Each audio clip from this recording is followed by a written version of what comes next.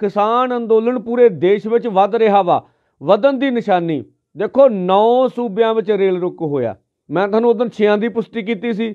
ਗਾਹਾਂ ਯੂਪੀ 'ਚ ਵੀ ਰੇਲਾਂ ਜਾਮ ਹੋ ਗਈਆਂ, ਕਰਨਾਟਕਾ 'ਚ ਵੀ ਰੇਲਾਂ ਜਾਮ ਹੋ ਗਈਆਂ ਔਰ ਬਿਹਾਰ 'ਚ ਵੀ ਰੇਲ ਜਾਮ 'ਚ ਕਾਮਯਾਬ ਰਹੇ ਸੀ।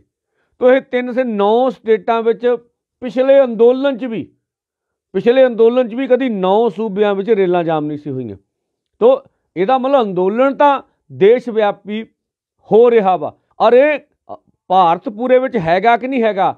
ਇਹ ਜਿਹੜਾ ਅਸੀਂ ਅਰਥੀ ਕਲਚ ਮਾਰਚ ਜਿਹੜਾ ਹੁਣ ਸ਼ੁਰੂ ਕੀਤਾ ਦੇਸ਼ ਭਰ ਵਿੱਚ ਲੈ ਕੇ ਜਾਣ ਦਾ, ਉੱਥੇ ਅਸੀਂ ਇੱਕ ਤਾਂ ਸ਼ਹੀਦੀ ਸਮਾਗਮ ਕਰਾਉਣੇ ਨੇ, ਠੀਕ ਆ, ਤੇ ਵੱਡੀਆਂ ਮਹਾ ਰੈਲੀਆਂ ਹੋਣੀਆਂ ਨੇ।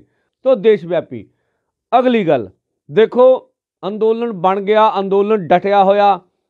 ਦੇਖੋ, ਅੰਦੋਲਨ ਵਿੱਚ ਮੰਗਾਂ ਦੀ ਪ੍ਰਾਪਤੀ ਦਾ ਸਮਾਂ ਤਾਂ ਨਹੀਂ ਤੈਅ ਕੀਤਾ ਜਾ ਸਕਦਾ, ਪਰ ਇਹ ਗੱਲ ਕੀਤੀ ਜਾ ਸਕਦੀ ਵੀ ਅੰਦੋਲਨ ਜਿੱਤਿਆ ਜਾ ਸਕਦਾ ਹੁੰਦਾ।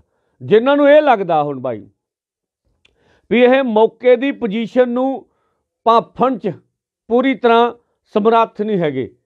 ਉਹਨਾਂ ਨੂੰ ਲੱਗਦਾ ਵੀ ਤਿੰਨ ਕਾਲੇ ਕਾਨੂੰਨ, ਕਾਨੂੰਨਾਂ ਦੇ ਉੱਤੇ ਉਹ ਸਥਿਤੀ ਨੂੰ ਭਾਂਪ ਕੇ ਆਪਾਂ ਦਿੱਲੀ ਗਏ ਸੀ, ਉਹ ਸਥਿਤੀ ਦੇ ਅਨੁਸਾਰ ਫੈਸਲੇ ਹੋ ਗਏ ਸੀ। ਬਾਈ, ਇਹ ਕਿਦਾਂ? ਕਿਵੇਂ ਬਾਈ? ਉਹ ਬਾਈ, ਇੱਥੇ ਤਾਂ ਇੱਕ ਵੱਡੇ ਹਿੱਸੇ ਨੇ ਇਹ ਕਹਿਤਾ ਵੀ ਇਹਨਾਂ ਕਾਨੂੰਨਾਂ ਦੇ ਵਿੱਚ ਰਿਕਾਰਡ ਆ।